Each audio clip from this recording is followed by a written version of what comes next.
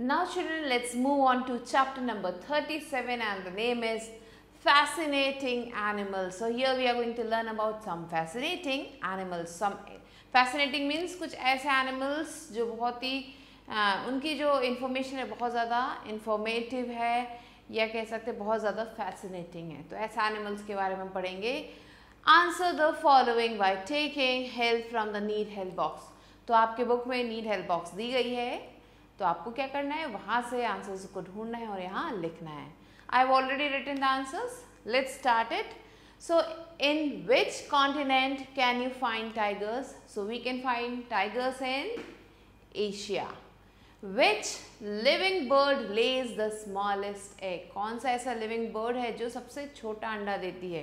And it is humming bird क्योंकि वो bird ही इतनी छोटी होती है और ये बर्ड क्या करती है? ये फूलों का रस पीती है। तो इसका जो अंडा है वो भी बहुत ही छोटा होता है। Next which is the longest snake सबसे लंबा स्नेक कौन सा है? And it is reticulated python ये जो है, सबसे लंबा स्नेक है।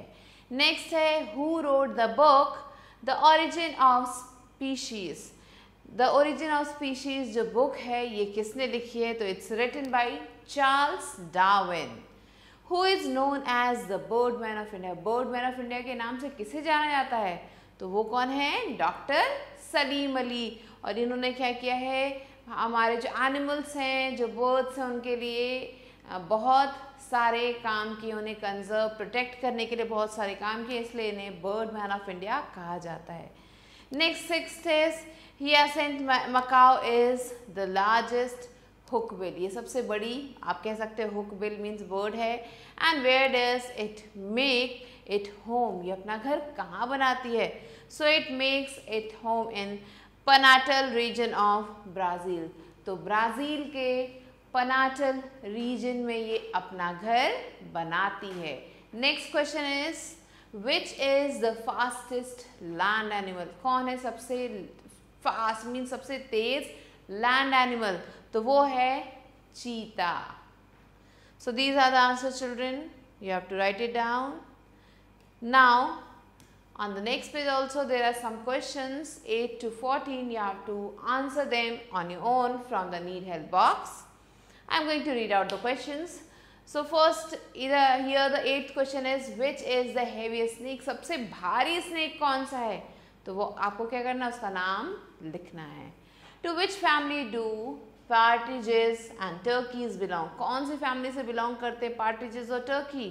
So write out its name which bamboo eating bear has a baby that weighs less than an apple कौन सा ऐसा बैम्बू ईटिंग बियर है, भालू है, जिसका बेबी एक एप्पल से भी कम वज़न का होता है?